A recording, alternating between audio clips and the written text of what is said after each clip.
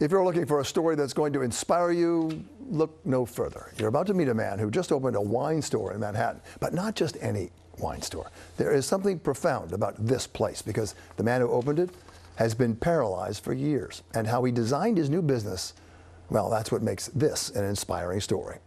Here's CeFaan Kim. I remember visiting a winery at the age of 13 um, in Bordeaux, and I remember that distinctive smell, um, just the, the, beauty of it all. For Yannick Benjamin, wine ran in his blood. Both his parents are French, his mother from Bordeaux, surrounded by vineyards. His father worked in the restaurant business.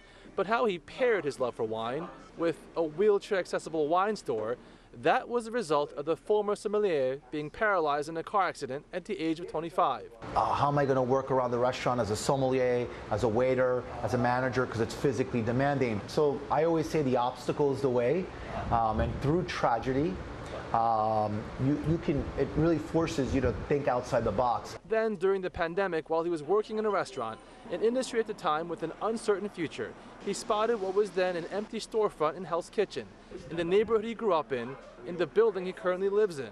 An idea was born. I, to, I can shop here independently with comfort. I don't have to keep asking for someone. I can grab a bottle on my own too. Just before the holidays, Beaupierre Wines and Spirits opened its doors. Displays at eye level for people in wheelchairs, countertops at the right height. They say some shy away from wine because it's inaccessible. Benjamin is giving wine accessibility a whole new meaning. Well, I can tell you people who have strollers are very, very happy with us, right?